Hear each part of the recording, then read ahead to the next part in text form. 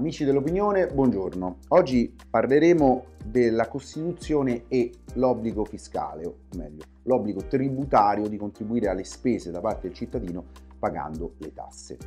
In specifico affronteremo un argomento eh, che è stato affrontato la scorsa settimana, eh, ossia la proposta di Letta, di Enrico Letta, il segretario del Partito Democratico, di riformare l'imposta sulle successioni aumentando eh, dopo la, aver superato la soglia di un milione eh, di euro l'aliquota eh, dell'imposta fino ad arrivare addirittura al 20% per quanto riguarda quei patrimoni che, del valore di 5 milioni di euro. Dunque, oggi abbiamo la fortuna di avvalerci di uh, un intervento a riguardo del professor Carlo Cottarelli che ci spiegherà quanto sia giusta o non sia giusta questa imposta, ma soprattutto ci parlerà anche di, eh, come, eh, di cosa avviene negli altri paesi riguardo appunto eh, la tassazione eh, sugli immobili e sul patrimonio eh, ereditato. E, ehm, io direi, eh, visto che la nostra rubrica cura ricostituente parte sempre dal, dalla Costituzione, quindi dai dettami costituzionali, di partire dall'articolo da cui si evince il principio di base, da cui poi ehm, il legislatore eh, diciamo, declina tutte le riforme eh, e le normative. Dunque l'articolo in specifico è l'articolo 53 che afferma tutti sono tenuti a concorrere alle spese pubbliche in ragione della loro capacità contributiva. Il sistema tributario è informato a criteri di progressività. Quindi eh, cosa accade? La Costituzione si basa su principi di, eh, di giustizia distributiva, di eguaglianza del carico tributario, eh, basandosi su un criterio di progressività. Eh, cosa postula questo criterio? Postula il fatto che chi ha maggiore disponibilità eh, debba pagare di più chi, di chi ha minore disponibilità economica. Quindi, evinto il dettame costituzionale da cui poi si dirama eh, tutta la nostra eh, legislazione tributaria, eh, direi di, pa- di passare eh, la parola direttamente al professore. Professor Carlo Cottarelli, ben arrivato. Dunque, eh, la ringrazio del suo intervento e le pongo subito questa domanda. Mm, in questi giorni c'è stata questa proposta di riforma sulle imposte delle successioni da parte del segretario del Partito Democratico. E la mia domanda è questa, secondo lei eh, questa riforma è una riforma valida? E aggiungo, eh, è giusto che ci sia un'imposta sulle successioni, ma soprattutto ehm, in Europa eh, avviene, eh, come viene, viene impostata questa tassa sulle successioni? Ecco, ci aiuti a chiarire queste, questo, questo, problema delle imposte sulle successioni e a, e a, capire se questa riforma, questa proposta di riforma sia uh, accettabile in modo tale da uscire dalla solita bagarre eh, diciamo strumentalizzata della politica. La ringrazio professore. Io credo, devo fare una promessa, io penso che in Italia la, la pressione fiscale sia un po' troppo alta e dovrebbe essere, dovrebbe essere ridotta. Detto questo, è vero che noi abbiamo una tassazione sulle successioni che è molto più bassa di quella degli altri paesi. Uh, bisogna tener conto del fatto che un'imposta di successione può essere criticata da un certo punto di vista ma ha altri vantaggi. Può essere criticata dal punto di vista che è una tassazione su una ricchezza che è il frutto di risparmio, che è il frutto di un reddito che è stato già tassato una volta. Quindi questo potrebbe dire non bisogna tassare la ricchezza che è già stata tassata. D'altro canto è anche vero che per chi eredita questa ricchezza eh, sono soldi che non sono stati guadagnati uno potrebbe allora dire anche che la tassa sul reddito è ingiusta perché non solo mi tocca lavorare, ma devo pure pagare le tasse. allora di fronte a queste due esigenze, quello che fanno gli altri paesi è prendere una via di mezzo, cioè tassare le imposte di successione a, con un'aliquota che è più bassa normalmente, non sempre, eh, perché delle volte si arriva al 50-60% per Francia e in Corea, ma un'aliquota di solito è più bassa della tassazione dell'aliquota sul reddito, uh, sul, sul reddito da, da, lavoro reddito di, e così via. Um, in Italia resta il fatto che noi abbiamo una tassazione molto bassa, che con un gettito inferiore al miliardo, quando in uh, Regno Unito e Germania si parla di 7-8 miliardi in Francia di una quindicina di miliardi. Quindi rispetto agli altri paesi questa tassa è una tassa che poi serviva a ridurre le disparità, se si vuole, le disparità eh, alla nascita, tanto è vero che l'aveva raccomandata anche in forma molto pesante, devo dire, Luigi Einaudi, nel famoso saggio scritto nel, nel dopoguerra.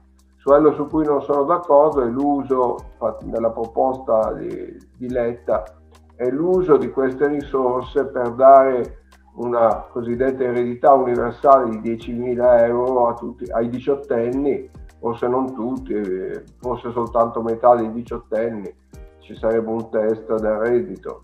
Eh, ma io credo che questo sia contrario allo spirito che credo invece dobbiamo alimentare, cioè che bisogna premiare il merito. Se ti arrivano soldi eh, dallo Stato eh, senza nessuna, se non per il fatto che hai compiuto, compiuto 18 anni, Uh, non mi sembra una buona idea. Allora queste risorse casomai le userei per ridurre la tassazione sui giovani che entrano nel mondo del lavoro.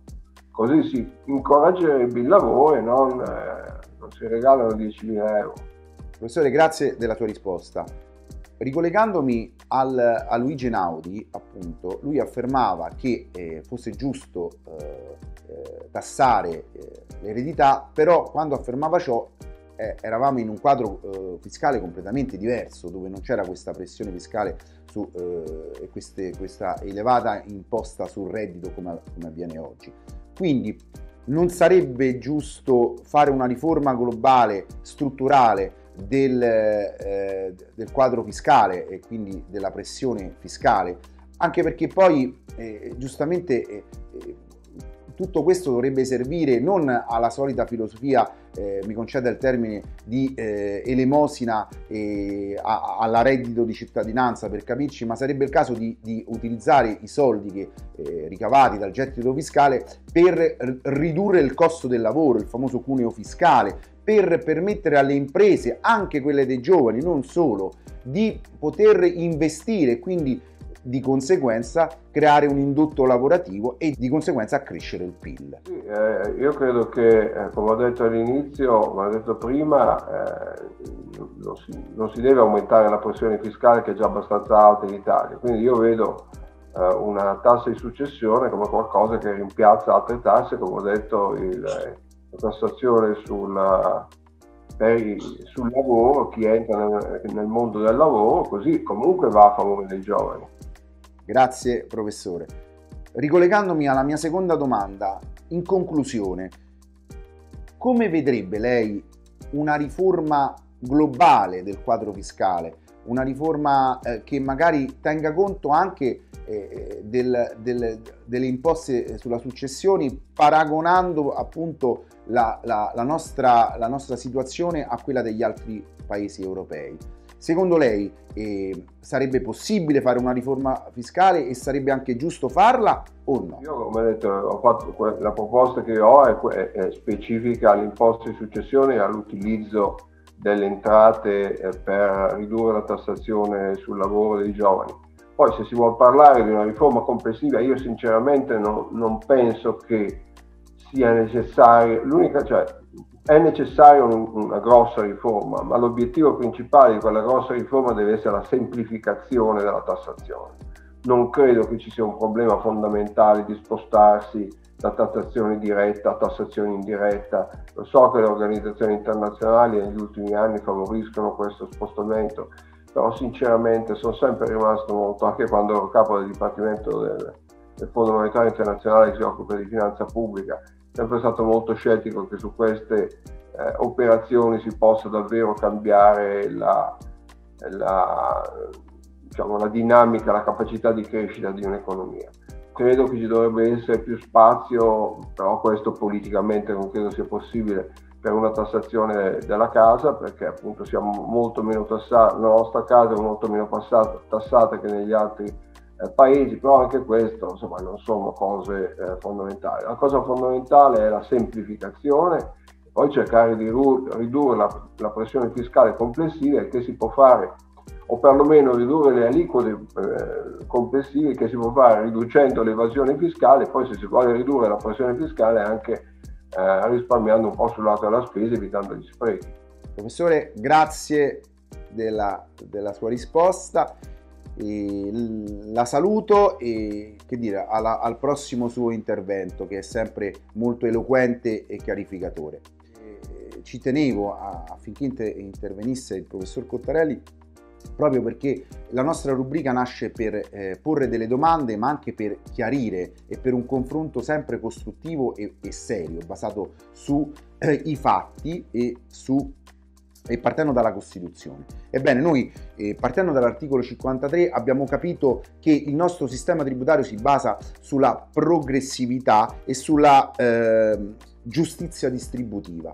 Eh, e quindi mh, vorremmo che da questo la eh, discussione politica partisse e non eh, fosse impostata e non si riducesse come al solito nella solita caotica bagarre dove non si capisce né la giustezza di una proposta eh, di riforma, come quella che è venuta da Partiletta, ma soprattutto non si entra mai nel merito, perché la propaganda politica eh, prevale sulla, su, sulla stessa Costituzione e sull'interesse del, del cittadino. Ecco, noi vorremmo con questa rubrica contribuire a chiarire e a capire e quindi per questo vi rivolgo come al solito la domanda secondo voi ascoltato quello che abbiamo appena detto, è giusto o non è giusto riformare il gettito fiscale e in questa riforma è giusto o non è giusto in, eh, aumentare l'imposta sulle successioni riducendo l'imposta sul reddito? Vi lascio questa domanda sperando sempre di trovare valide soluzioni.